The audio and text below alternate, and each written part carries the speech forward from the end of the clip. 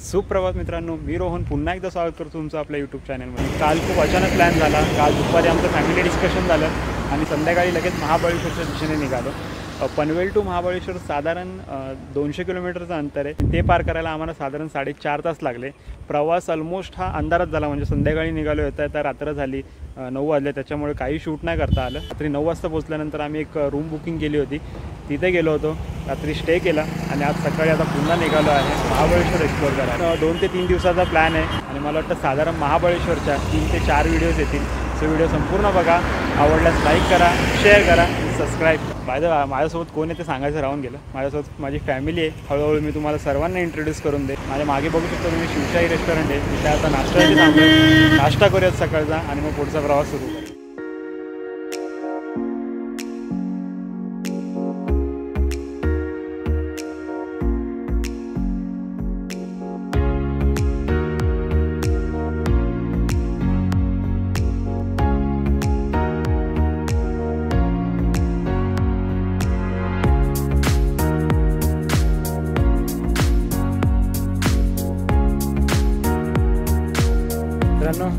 आलेलो आहोत प्रतापगडच्या पायथ्याशी. माझ्या मागे बघू शकता तुम्ही.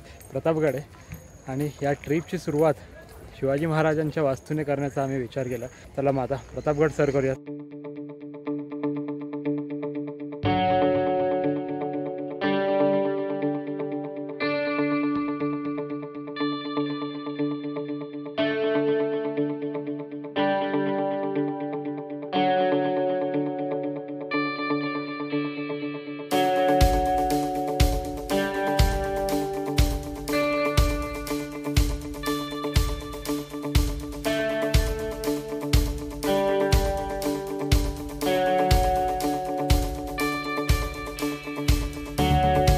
या ट्रिपमध्ये आज आपल्यासोबत असणारी माझी फॅमिली मी इंट्रोड्यूस करतो. पिताश्री जिजू भगिनी आपल्या. आणि मातोश्री पण आहेत पण त्या आता सध्याला गायब आहेत. मित्रांनो प्रतापगडावरील इतिहास तुम्हाला माहीतच असेल. अफजल खानाने पायथ्याशी घातलेला वेढा वाघनाकांचा मारा आणि मग अफजल खानाचा वध. हा सर्व इतिहास आपण आपल्या शाळा पुस्तकातून आवर्जून वाचलेला असेल. या सगळ्या गोष्टीने आपल्या शिवाजी महाराजांनी आणि आपल्या मावळ्यांनी इथं प्रताप करून दाखवला आणि म्हणून या गडाचं नाव पडलं प्रतापगड. गडावरून अफजलखानाची समाधी दिसते मी तिथून तुम्हाला दाखवण्याचा प्रयत्न करतो. आय डोंट नो आता ती कॅमेरामध्ये किती कॅप्चर आहे. पण जेवढं मला जमेल तेवढं मी दाखवण्याचा प्रयत्न करतो. ती त्या ठिकाणी जी दिसते ती अफजल खानाची समाधी असं बोललं जातं.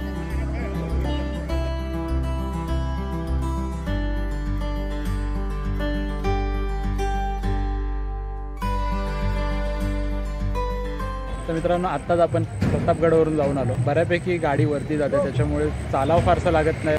जवळपास दहा ते पंधरा मिनटात लागतात चालायला. गडावरती गाईडची देखील सुविधा आहे जो तीनशे रुपये घेऊन एक ते दीड तासामध्ये सर्व पॉईंट्स दाखवून गडाबद्दल इतिहास देखील सांगतो. पण आम्ही तो गाईड घेतला नाही कारण आम्हाला तितकासा वेळ नव्हता. आम्ही पंधरा वीस मिनटात थोडंफार बघितलं प्रतापगड आणि लगेच रिटर्न झालो. कारण आता आम्हाला शिवकालीन खेडेगावात जायचं ज्याला ट्रॅडिशनल विलेज देखील म्हटलं जातं. चला मग आता आपण शिवकालीन खेडेगावामध्ये भेटूया.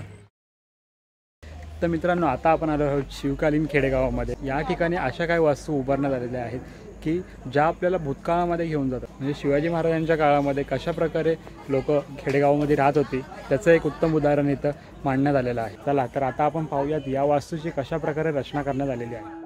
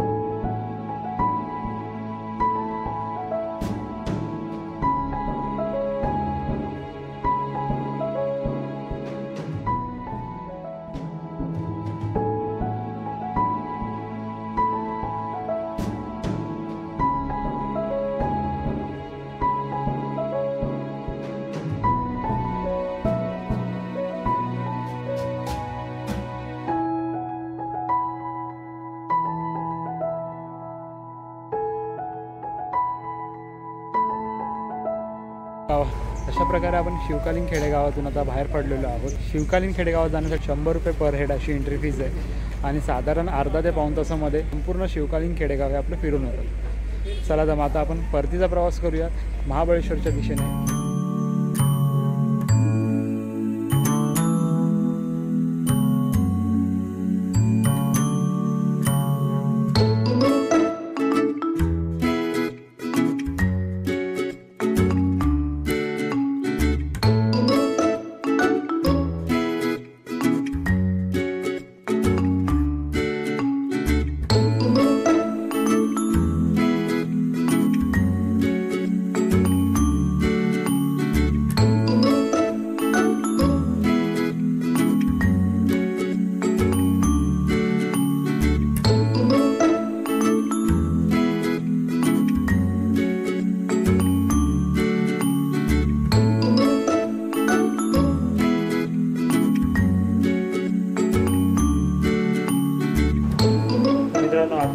रात्रीचे साडेआठ वाजले आणि आता आम्ही रूमवरती पोचलेलो आहोत. महाबळेश्वरच्या मेन मार्केटमध्ये आम्ही रूम घेतलेला आहे हॉटेल रोहित हे हॉटेलचं नाव आहे. चालू असलेल्या विकेंडचा वार म्हणजे सॅटर्डे संडे दिवाळीची सुट्टी आणि नुकतीच सुरुवात झालेली थंडी.